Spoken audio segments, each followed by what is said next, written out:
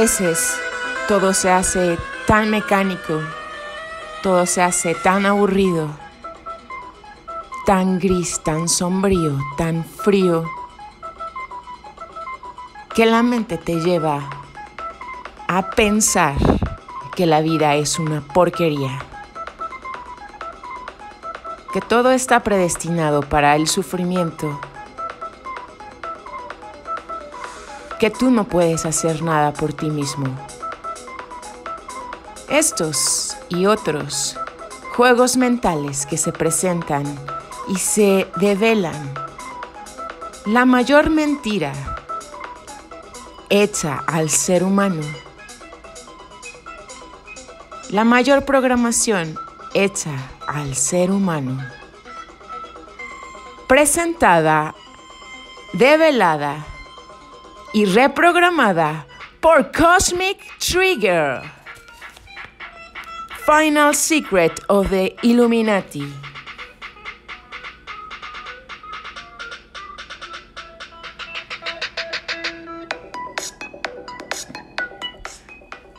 Aquí entramos al mundo de Robert Anton Wilson, que nos ayuda y nos da pistas para seguir despiertos, para no tragarnos esa pastilla. El ser humano es un ser de luz, el ser humano es otra cosa que ni siquiera tenemos una pizca del potencial que guardamos dentro nuestro. Ah, en esta parte 1, la conexión de Sirio, el brujo Aleister Crowley nos dice que sigamos estas instrucciones.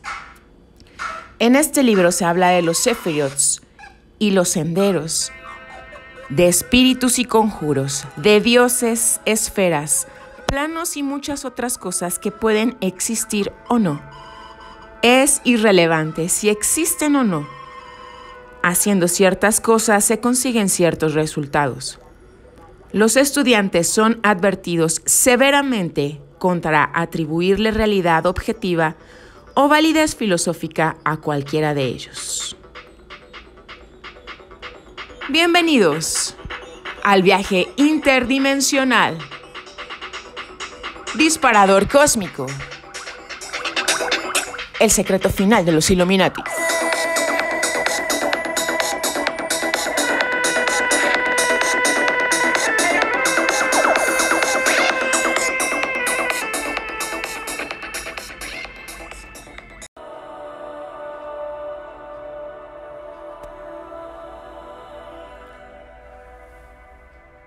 Fábulas introductorias. Jim Garrison y los Illuminati. El discordianismo está en contradicción directa con los fundamentos monoteóricos y monoteístas de la religión occidental, la lógica occidental y el derecho occidental.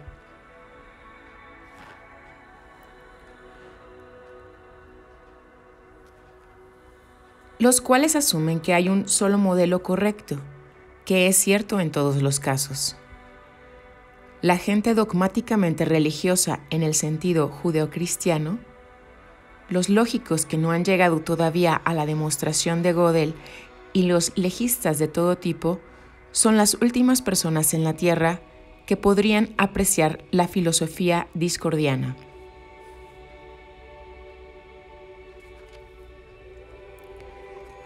Sin embargo, de una manera totalmente quijotesca, Kerry Thornley, arrastrando tras de sí todo su bagaje discordiano, insistió en involucrarse en, la, en el asesinato de Kennedy de los años 60 y fue directamente a ver un abogado.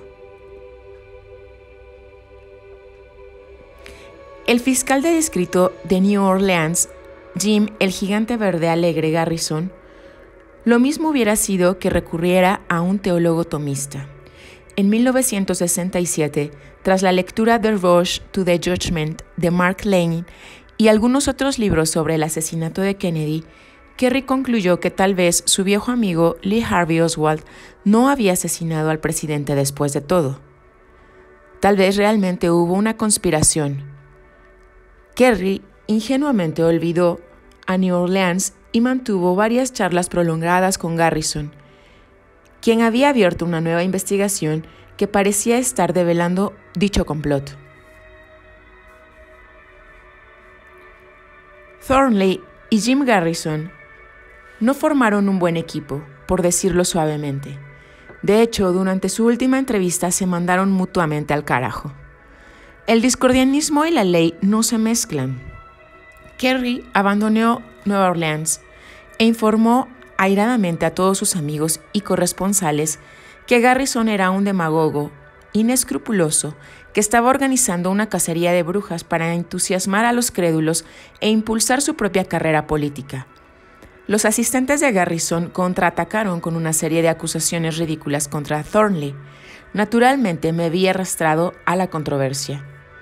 Fue entonces cuando realmente empecé a comprender cuán arbitrarias son las construcciones de la realidad creadas por el sistema nervioso del ser humano promedio. La prensa del establishment era 100% anti-Garrison y negaba todas sus acusaciones. La prensa underground era 100% pro-Garrison y apoyaba todos sus argumentos. En el lenguaje de Larry, todas las señales que podían organizarse en un gestal de Garrison, bueno, eran transmitidas libre y omnidireccionalmente en el juego del periodismo under, mientras que todas las señales que sugerían un Garrison malo o incompatible con el Garrison bueno estaban reservadas eficientemente al juego del periodismo establecido. Dios mío, se dijo a sí mismo libertario, un día a comienzos de 1968, cuando aquello se le hizo claro. La izquierda es tan robótica como la derecha.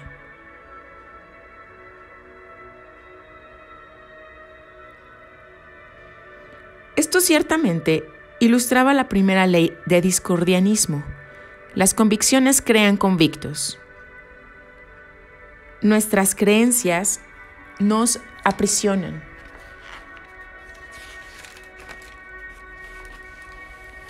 Thornley, tal como había llegado a conocerlo a través de las cartas y después personalmente, era un individuo libertario con sentido del humor y agnóstico, y solo era dogmático sobre dos cosas, el anarquismo y el pacifismo. Destruir cualquier forma de vida estaba en contra de su ética personal.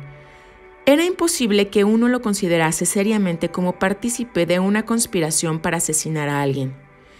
Y sin embargo, en la prensa under, Thornley y los otros sospechosos de Garrison fueron descritos como una extraña banda de homosexuales satánicos fanáticos nazis de la CIA. Era como una vuelta del macartismo, macartismo de los años 50, esta vez proveniente de la izquierda. Parece que hay un montón de realidades diferentes dando vueltas en estos días, dijo Abby Hoffman durante los horrores de la Convención Democrática de 1968. Bien puede ser la única cosa inteligente que haya dicho alguna vez. Desde ese momento, el escéptico ha adquirido el hábito de leer uno o dos periódicos publicados por algunos grupos políticos o religiosos que desprecia, solo para ver qué clase de señales están siendo rechazadas por sus mapas habituales de la realidad. Es algo muy educativo. Aleister Crowley y Bernard Russell, respectivamente, el místico más sobresaliente y el racionalista más excepcional del siglo XX, también han recomendado esta práctica es una de las mejores formas de descubrir cómo trabaja el burro de Nasruddin, el autoprogramador.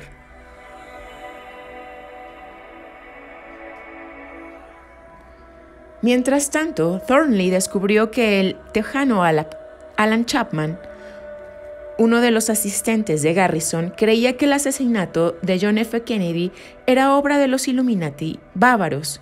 Y claro, yo ya era un experto en ese tema o eso pensaba.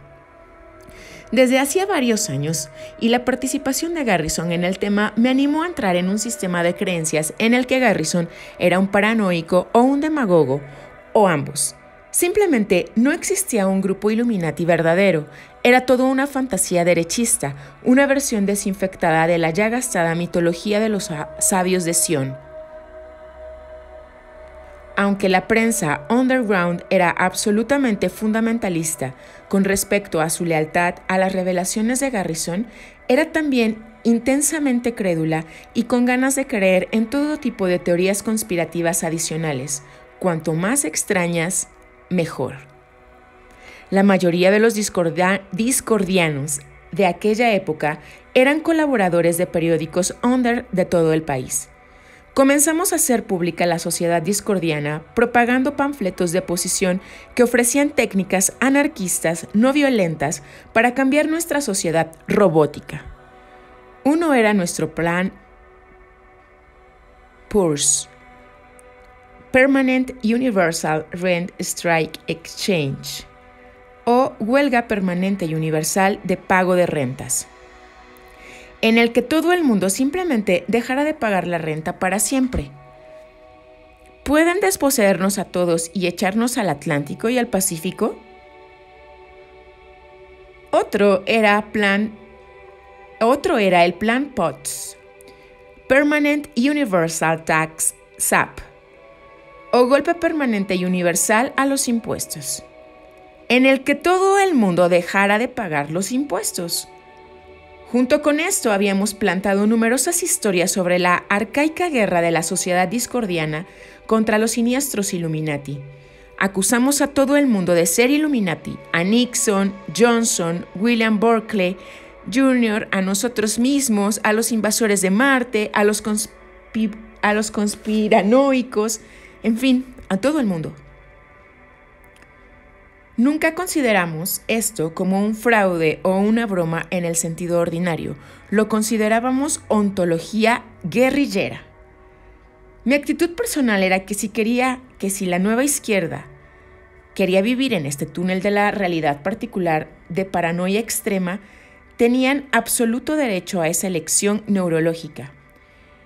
Yo veía al discordianismo como el factor de la broma cósmica, introduciendo tantas paranoias alternativas que todo el mundo podía escoger su favorita, si es que tenían esa inclinación. También esperaba que algunas almas menos crédulas, abrumadas por ese pastiche de posibilidades, pudieran ver a través de todo ese juego de paranoia y decidieran mutar a un mapa de realidad más amplio, más divertido y esperanzador. El distinguido poeta Ed Sanders, autor de Fuck God of the disculpen, autor de Fuck God of the Ass y otras obras inmortales, una vez me envió un mensaje urgente advirtiéndome, no hay nada de divertido sobre los Illuminati, son reales. Me reí inmoderadamente, como siempre hace el tonto antes de las puertas de la capilla peligrosa.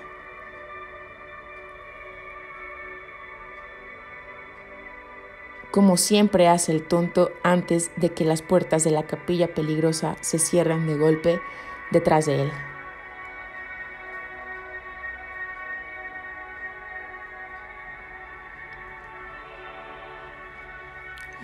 Operación Jodementes. Las revelaciones discordianas parecieron haber presionado un botón mágico. Comenzaron a aparecer nuevas revelaciones sobre los Illuminati en todas partes, tanto en publicaciones de extrema derecha como de ultra izquierda. Esto definitivamente no provenía de los discordianos. De hecho, un artículo de Los Angeles Free Press en 1969 reproducía la grabación de una entrevista telefónica a una persona de color que afirmaba representar a la Misa Negra, una conspiración afrodiscordiana de la que nunca habíamos oído hablar. Se adjudicó crédito en nombre de la Misa Negra y los discordianos por todos los atentados que habían sido atribuidos a la agrupación Water Underground.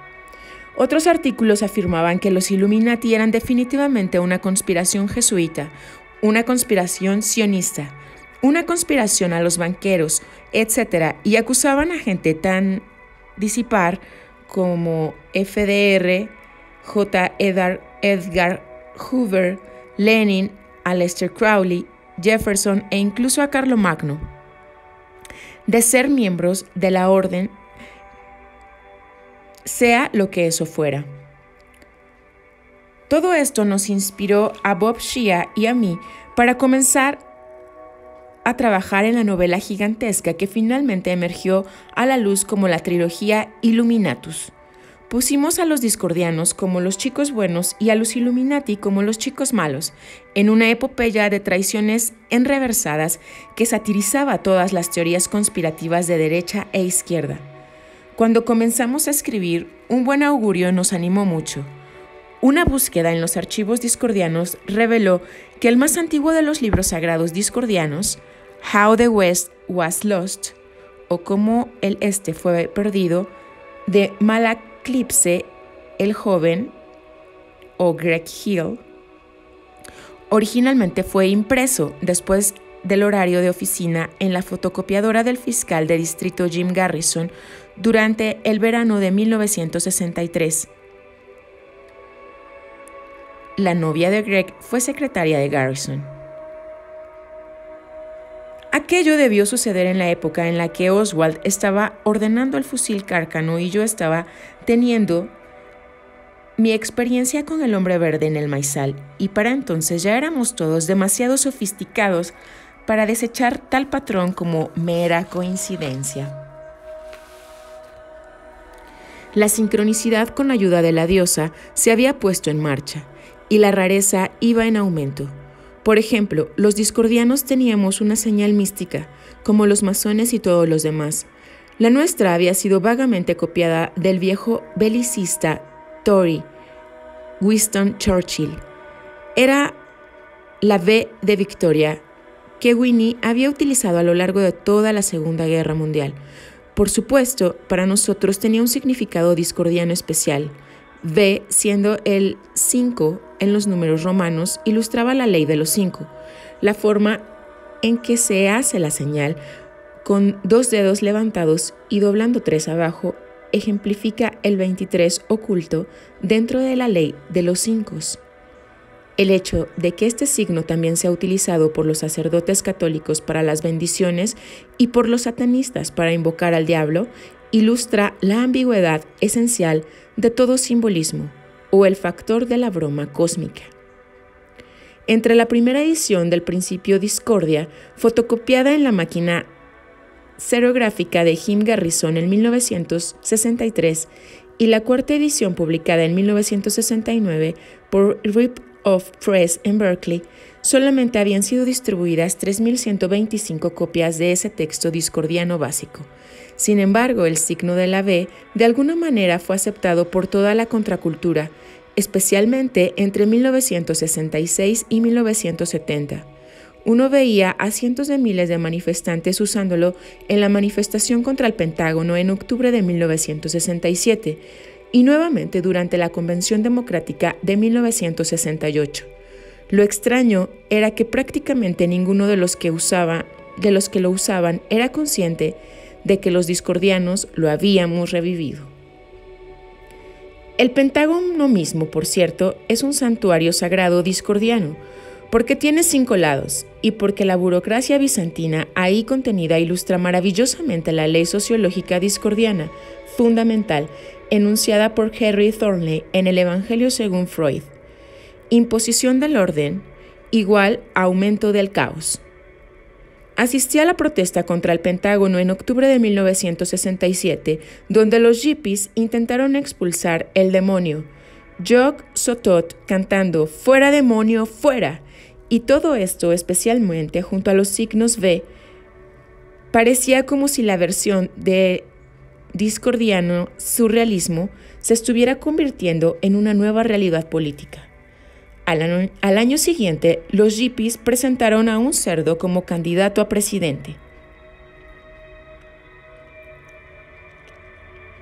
un psicólogo llamado Richard Ryan en Nueva Jersey, leyó algo de la literatura discordiana y escribió para contarme otro jodemente relacionado al 23. Ryan había escuchado a un psiquiatra en un manicomio donde ambos trabajaban dando una severa reprimienda a una enfermera que había cometido un error. Cuando dijo 23cc, había gritado el psiquiatra, quiero 23cc, no 24cc. Ryan escuchó esto mientras se dirigía a visitar una sala de esquizofrénicos crónicos. Cuando entró a la sala, uno de los esquizos le dijo, con tono de ansiedad, sí, sí, 23cc.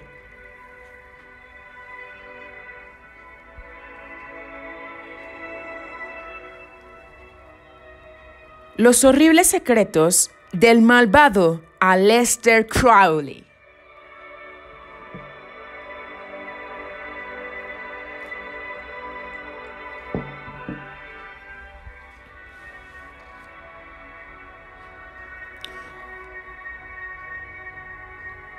Un día, en 1970, almorcé con Alan Watts y su encantadora esposa Hanu.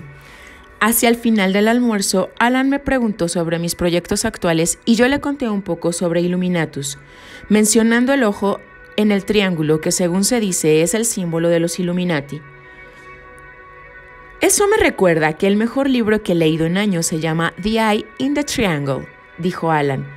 Es sobre Lester Crowley, se entusiasmó y me recomendó el libro profusamente.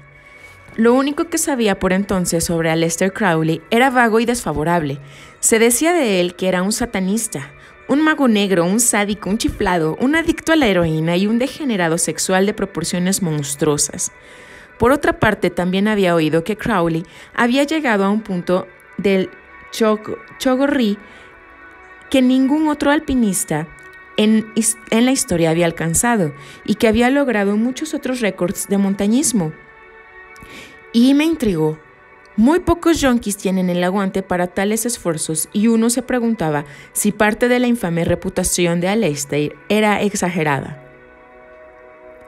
El escéptico compró The Eye in the Triangle del doctor Israel Regardi, secretario de Crowley en los años 20 y ahora psicólogo reikiano en Los Ángeles. El doctor Regardi destacó la vinculación entre la magia o la magic. La K es para establecer una distinción con la ordinaria magia de escenario o de conjuros. En inglés la pronunciación es magic, magic.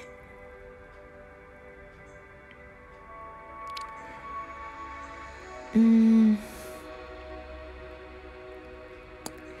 El doctor Regardi destacó la vinculación entre la magia tántrica de Crowley y la psicología bioenergética de Reiki, y por lo tanto, el escéptico asumió que las energías astrales utilizadas en la magia crowleyana eran el mismo fenómeno que la energía orgónica utilizada en la terapia reikiana. Pronto me había conseguido todos los libros de Crowley disponibles y comencé una correspondencia con el Dr. Regardi. También comencé a experimentar con los métodos de entrenamiento mágico dados en los libros de Crowley. Muchos de estos ejercicios francamente habían sido tomados del Hatha Yoga, en el cual yo ya tenía cierta experiencia. Algunos eran similares a los métodos de los chamanes tribales, como don Juan Matus, cuya forma de entrenar al antropólogo Carlos Castaneda está llena de técnicas craulianas. Otras venían del Tantra tibetano y de la India, el arte de convertir el éxtasis sexual en una expansión mística de la mente. Crowley nunca se refiere directamente a estas prácticas tántricas en sus libros, sino solo indirectamente mediante códigos, juegos de palabras, metátesis, acrósticos, simbolismo oscuro y con todo tipo de indirectas. Comencé a comprender esto. Como mencioné anteriormente, mientras estaba leyendo el capítulo 69 del libro de las mentiras, que se llama The Way to Succeed and the Way to Suck Eggs, o la manera de triunfar y la manera de chupar huevos. Como es costumbre con Crowley, el número de capítulos se relaciona con el tema, generalmente en forma cabalística, pero en este caso vía jerga sexual. El título es un típico juego de palabras crowleyano. The Way to Suck Seed, la manera de chupar simiente. El capítulo describe el descenso de la paloma en Pentecostés llamado el don de lenguas por los teólogos cristianos. Pero también puede leerse como una descripción de Crowley y su amante llamada Laila en el texto, dedicados al sexo oral mutuo. Crowley en realidad estaba diciendo que el sexo oral podía ser un método de meditación.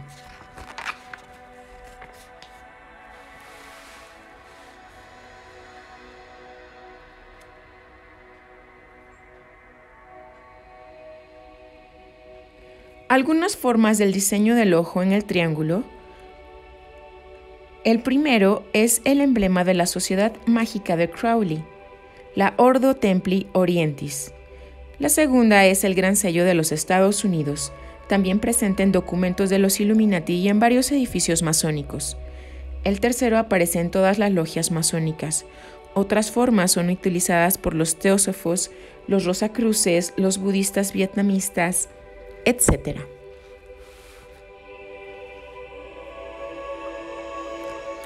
Una vez que uno capta el mensaje, pronto comienza a ver incontables capítulos que describen otros actos sexuales como formas de meditación.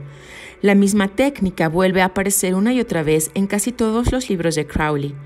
La idea detrás del sexo tántrico sacramental o magiac sexual, como también es llamado, es postergar el orgasmo normal mediante varias posturas, meditaciones, conjuros y sobre todo oraciones, permitiendo finalmente un nuevo tipo de orgasmo, el orgasmo polifásico, como Larry lo ha llamado, el ascenso de la serpiente. Es la metáfora hindú tradicional para esta explosión neurológica.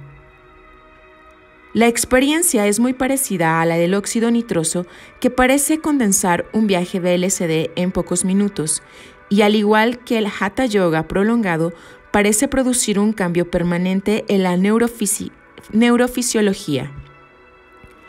En la terminología de Larry, esta mutación tántrica te da un quinto circuito neurológico, donde la mayoría de los seres humanos solo tienen cuatro, y también puede empujarte hacia circuitos aún superiores. La marihuana, por supuesto, también te pone en el quinto circuito, éxtasis del hemisferio derecho del cerebro, pero solo temporalmente. Una de las enseñanzas secretas de Crowley, solo pasada verbalmente a estudiantes prometedores, era que la combinación marihuana más tantra era la clave para la mutación rápida a un circuito permanente de éxtasis. Se me ocurrió que finalmente había descubierto el secreto de los Illuminati, no eran una fantasía de paranoicos de la derecha. Illuminati era uno de los nombres de un movimiento místico subterráneo que utilizaba el yoga sexual en el mundo occidental. Los velos de oscuridad y misterio alrededor de figuras como Giordano Bruno, John Dee, Cagliostro, los Rosacruces originales del siglo XVII, Crowley mismo y otras varias figuras claves en la conspiración no tenían nada que ver con la política o complots para apoderarse del mundo. Era una pantalla para protegerse de la persecución de la Santa Inquisición en siglos anteriores y de la policía puritana en nuestro tiempo. Este patrón histórico de persecución y de encubrimiento ha confundido considerablemente la transmisión. Algunos de los grupos llamados Illuminati en un momento u otro no han tenido este secreto particular en su plan de programación mental. Algunos grupos no llamados Illuminati sí lo han tenido, para confundir aún más las cosas. Por ejemplo, los hermanos y hermanos de libre espíritu, orden a la que perteneció Hieronymus Bosch y que influenció enormemente sus pinturas.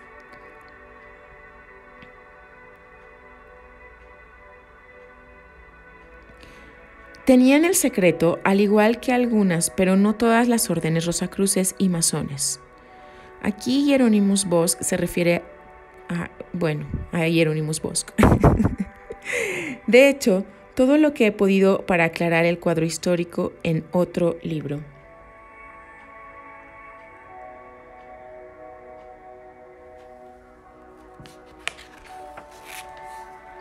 El sistema crowleyano, de manera muy resumida, es una síntesis de tres elementos. 1. Ocultismo occidental. La enseñanza secreta iluminada de los Rosacruces del siglo XIX, cuyos orígenes posiblemente podrían rastrearse a través de las sociedades de magia renacentista, la brujería medieval, los caballeros templarios, los sufis europeos, etc., hasta el gnosticismo y desde allí posiblemente hasta los misterios de Eulisis y los cultos egipcios. Básicamente, como dice Crowley, este método consiste en peligrosos experimentos fisiológicos, sirviéndose de rituales, a veces drogas, a veces sexo, para sacudir el sistema nervioso hacia un funcionamiento superior, nuevos circuitos neurológicos. 2. Yoga oriental meditación y ejercicios físicos para hacer la meditación más fácil, más natural, otro sistema de activación de los neurocircuitos superiores. 3. El método científico moderno. Crowley enseñaba que había que ser totalmente escéptico sobre todos los resultados obtenidos, a llevar registros objetivos y minuciosos de cada experimento y hacer un análisis filosófico e imparcial después de cada etapa de incremento de la conciencia. Esta síntesis de las tradiciones ocultistas occidentales y orientales con el método científico moderno es probablemente el logro más importante de Crowley. Su notoria filosofía anticristiana, una mezcla de la idea del superhombre nietzscheano y de darwinismo anarcofascista, es muy distinta de su metodología. Te guste o no esa filosofía, y al libertario no le gusta aún puedes seguir utilizando la metodología de investigación que Crowley había ideado.